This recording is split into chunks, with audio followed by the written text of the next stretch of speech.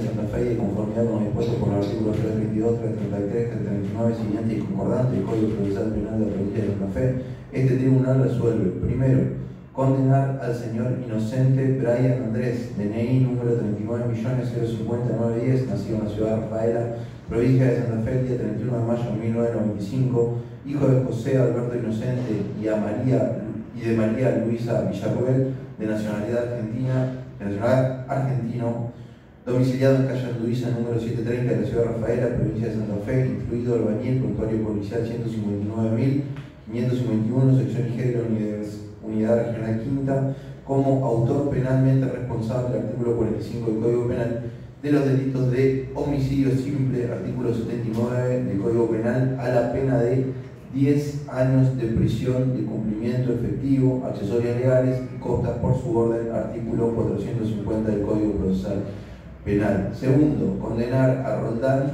Brian Michael, DNI número 42.183.486, nacido en la ciudad de Rafaela, provincia de Santa Fe, el día 15 de enero del año 2000, hijo de Héctor Pedro Roldán y Sara Esther Luna, de nacionalidad argentino, domiciliado en calle Chaco, número 26 de la localidad de Bella Italia, provincia de Santa Fe, instruido metalúrgico, prontuario policial 176, 951, sección IG, unidad regional quinta, como autor penalmente responsable, artículo 45 del Código Penal, de los delitos de encubrimiento grabado por tratarse del hecho precedente de un delito especialmente grave, artículo 277, apartado tercero, inciso A del Código Penal de la Nación, a la pena de dos años y seis meses de prisión de ejecución condicional y con costas por su orden.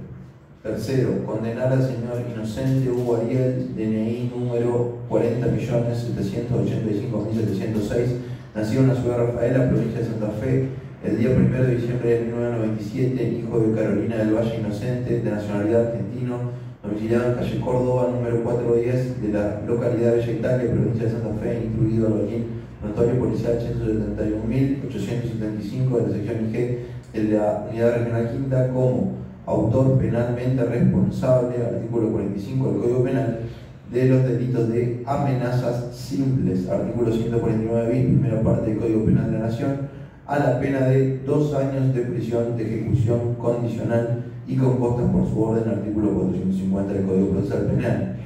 Cuarto, establecer que efectuado el cómputo legal, la pena impuesta vence el día 4 de junio del 2033, es decir, 4 del 6 del 2033, fecha en que Brian Andrés Inocente deberá ser puesto en libertad, excepto si encuentra a disposición de otra autoridad competente.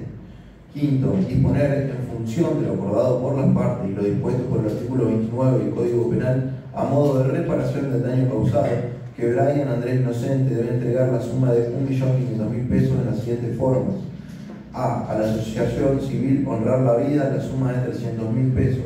B. Al Hogar de Niños Don Orione, la suma de 300.000 pesos. C. A la Liga Argentina de Lucha contra el Cáncer, filial Rafaela, la suma de 300.000 pesos. D.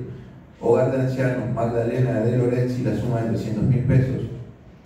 Y E Asociación Cooperadora del Hospital Jaime Ferrer, la suma de 300 mil pesos, debiendo luego acreditarse la efectiva entrega de esas sumas a cada una de las instituciones mediante los comprobantes respectivos, todo dentro de los próximos 90 días.